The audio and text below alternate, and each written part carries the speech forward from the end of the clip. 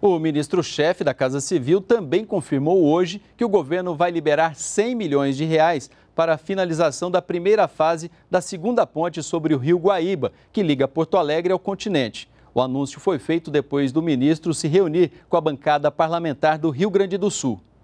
As obras da ponte, que estão com 35% de execução, integram o Programa de Aceleração do Crescimento, o PAC.